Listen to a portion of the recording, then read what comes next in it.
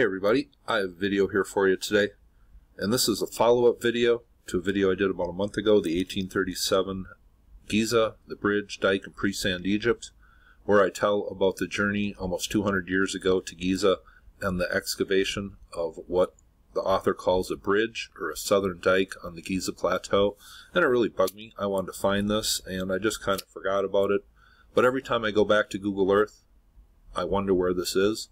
So I read that whole 1837 volume and I really wanted to pinpoint this, but it wasn't really till I watched a video yesterday from Megalithomania UK from Antoine Gigal, and uh, she talks about the Southern Dike, but she also mentioned the more modern name, and I realized I have heard of this wall before, and it is a pretty good mystery, and I think it's a clear indication of a much, a much earlier chapter of history on the Giza Plateau. Now here, looking overhead at the Giza Plateau, I always wondered where this was, and I assumed it was down in this area here. But I can actually see it from right here. This is a massive construction, and it really surprised me actually how big this was. And I don't think we're being told the proper history of this construction. But here we go. This is the Wall of the Crows, the ancient southern dike, as uh, relayed by the author of the 1837 expedition. This does not continue under the sand, and here more modern constructions built on top of the sands that have just encroached upon this area. But this is all this construction is. It goes from here to here. It's about 200 meters long, and what's even more impressive, this is about 10 meters thick, and the proper history of this I don't think is really accurately told, and the more I investigate the Giza Plateau, it's clearly evident to me that there was ancient harbors, constructions all around the Giza Plateau. Now here is that video I watched yesterday, and she goes over how all around surrounding Giza there is obviously desert sand, and then there is a layer of sea sediments, and then below the sea sediments, there are facing blocks, which just suggests a really, really early history on the Giza Plateau.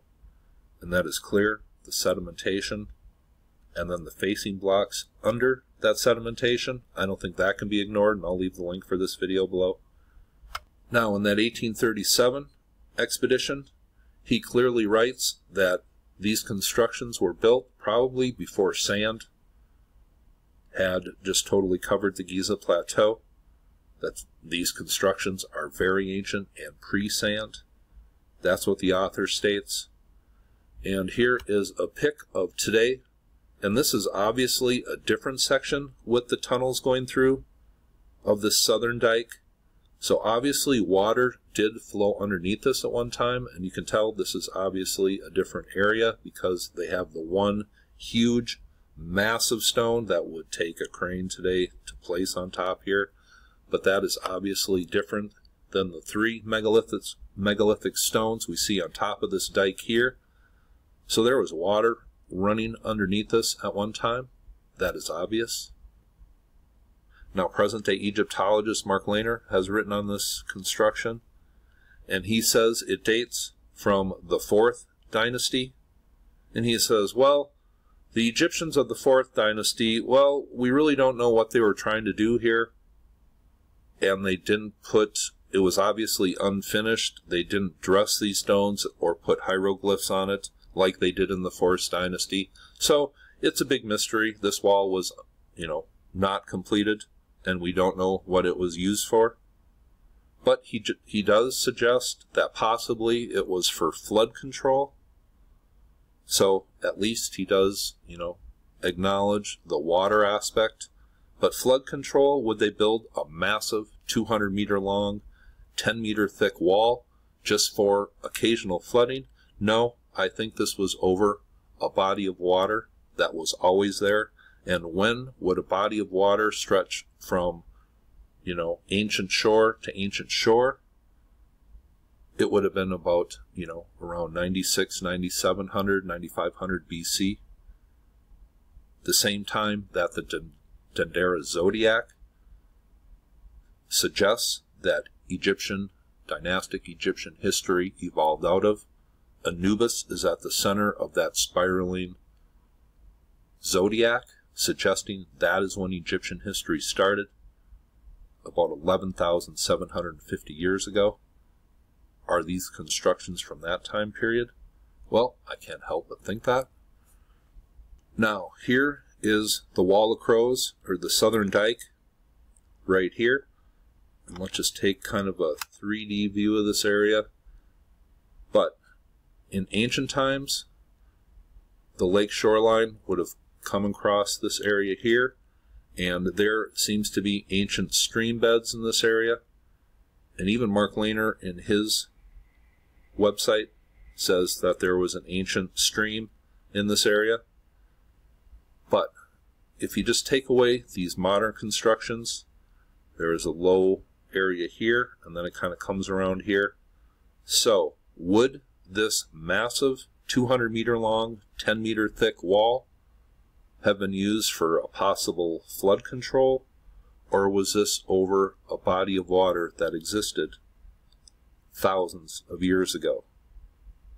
Here is a look, and this, the author in 1837 says this is an ancient dike and bridge.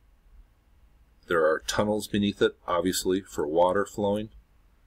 But if you take away all this modern construction, the lake would have been out here. This is an ancient dike or bridge. I find that fascinating, and I find that to be lost history right there. Now here we are looking overhead at Giza again. And it's just clear to me there is a much earlier chapter of human history, and I think it's human history. People say, well, who built the Sphinx? Who built the pyramids? It was us, but it was just a much different us coming from a totally different epoch of human history. And here are the three pyramids, and I just want to go back to that video here. Here is infrared, and it seems to be there are massive walls surrounding the whole Giza Plateau, and even especially here on the north side. I just wanted to point that out. And what this place looked like was so much different than it is today. And I mentioned George Gurdjieff. He claims to have found a pre-sand map of the Giza Plateau, and he said he saw what we call the Sphinx today on that, and he was so intrigued by that, he made it an immediate trip to the Giza Plateau about a hundred years ago. Did he see the Sphinx in a totally different form than the lion theory that has been put forth for the last couple thousand years? Well, that needs to be brought up. But it's clear to me that we have a much earlier chapter of human history, the erosion on the Sphinx, the clear pre-dynastic history of the Giza Plateau, tombs that are cl clearly pre-dynastic, but the Egyptologists won't offer an explanation, the Turin's Kings List. That goes back way past the First Dynasty, and that is what Egyptologists used for their chronological order, but they won't recognize anything beyond or previous to the First Dynasty. That is really, that's just foolish to me. But the erosion on the Sphinx, the Dendera zodiac suggesting that dynastic Egyptian history spun out of a time period roughly 11,700 years ago, give or take a couple centuries. And when you go back that far, the window just opens up to an acceptable time period. So if you go back 12,000 years, a 400 year window is totally acceptable to me. So I think it is around the epoch of 11,700 years ago, give or take a couple centuries, that this place was built, and the tremendous knowledge that was downloaded in stone into the Great Pyramid, the geodetic information, the incredible mathematics, and I'm sure you've seen some other channels doing some videos on the mathematics and the geometry of the Great Pyramid, and it is incredibly fascinating. That is one of the aspects of this. I'm going to be talking about this area, but let's go down and just take a see if we can find the Wall of Crows on Google Earth. If I can get close, and I can get kind of close and we're going to go over to an adjacent parking lot but this whole area seems to be cordoned off and not viewable by the public but there's the pyramids up here and there seems to be quite a security fence here. But beyond here, up in this area back here is the wall of crows. And you notice this very modern stone wall here. But these bricks, or these massive megalithic blocks here, almost appear as big as these stones, yet this wall is about 100 meters behind this more modern wall. But that is the only look at the Wall of Crows I can give you. It seems to be a place that isn't mentioned much, and my subscribers who have visited Egypt, is this place even mentioned? That is something I want to know. But this place suggests a much earlier chapter of history on the Giza Plateau. Now here's an overhead look at Giza, and my next pyramid videos will probably be about the remaining five pyramids on the Giza Plateau. I've already gone over four of them. But it's clear to me from the ancient text, Giza was an island a long, long time ago. And water was around this area, and it also was on the north side. And we have pictures even where severe flooding, water was all the way around the backside.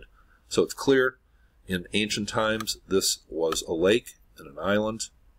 And there is harbor constructions, and I have heard many people talk about it recently.